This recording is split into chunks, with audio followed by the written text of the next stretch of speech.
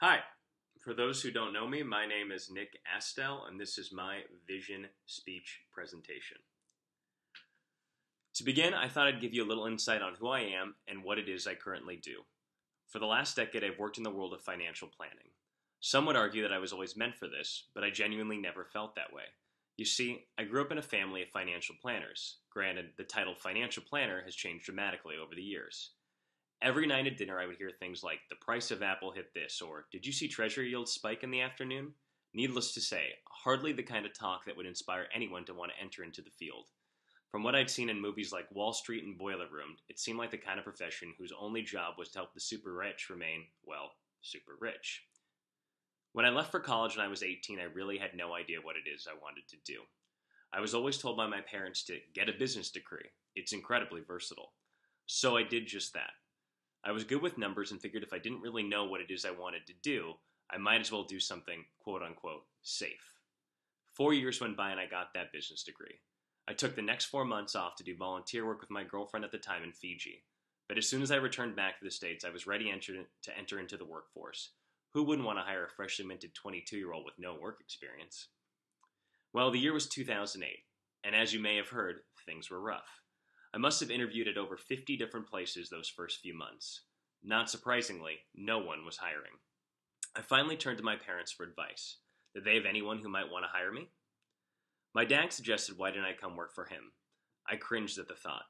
At the time, he had recently retired from upper management to assist my mother's budding business in Palm Springs, California. I was going to leave New York for Palm Springs? Needless to say, I was less than thrilled. Having to live in a city with my parents, doing something I'd always at least thought I hated, I couldn't think of anything worse. Regardless, I needed the money, and off I went.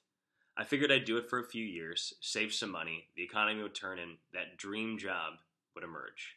Never in a million years did I assume that aforementioned dream job would be standing right in front of me. I spent the next six months studying intensely.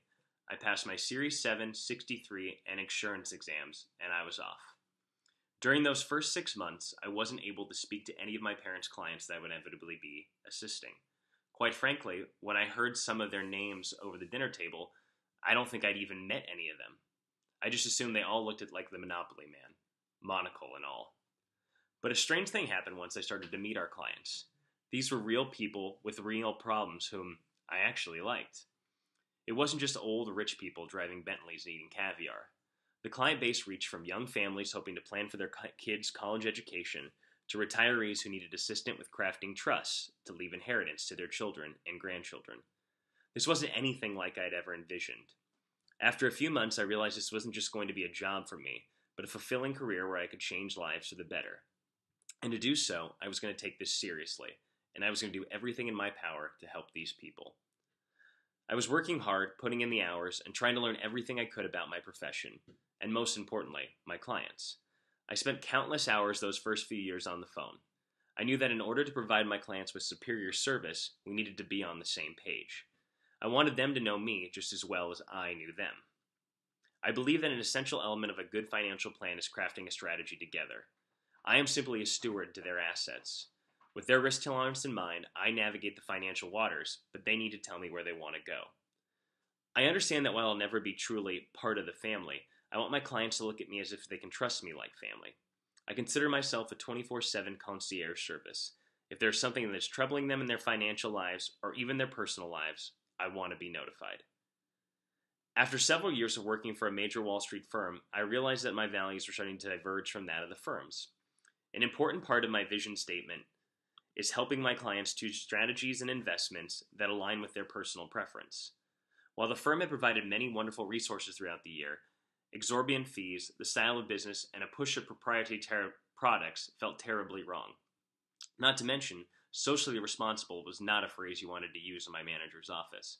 At that point, my team and I decided to take our practice independent and align with Commonwealth, whose tagline is here on the right. Our clients couldn't have been happier. Fees were lower, and clients were able to purchase any investment of their liking. A big part of our practice caters to people who want to invest in products that leave the world a better place. We have crafted several strategies that won't include elements of tobacco and oil, some that are catered just to climate action, while others invest in companies that are socially responsible. Many of these strategies have actually outperformed their indexes, and provide clients with peace of mind that they're investing in a better tomorrow. We are a progressive company and we want our clients to understand our values. The following is my vision statement I will positively impact my clients' lives with sound advice, hard work, and a clear path with options for socially responsible investing. Together, we will craft a plan that helps them transition into the ideal retirement lifestyle they so rightfully deserve. With the guidance of this vision, we have been able to build a practice that we are happy to come to work to day in and day out. It has enabled us to provide our clients with exceptional service and a better path to their goals. It has also given us the freedom to do the things that our prior firm had not. Not to mention, not being shackled to my desk 60 plus hours a week has provided me with opportunities I never could have originally envisioned. I can now do things that aren't just beneficial for my clients and myself, but for me as a human.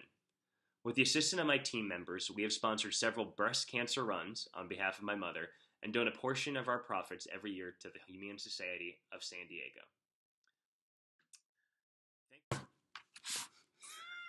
This is my cat Olive, and she certainly couldn't be more happy that I get to be able to spend more time with her and her friends at the Humane Society. She's a little camera shy. Regardless, we adopted her a couple weeks ago, and she's been an important element of our life. Anyways, I hope you enjoyed my vision statement, and most importantly, what it means to be a financial planner to me. Thank you so much,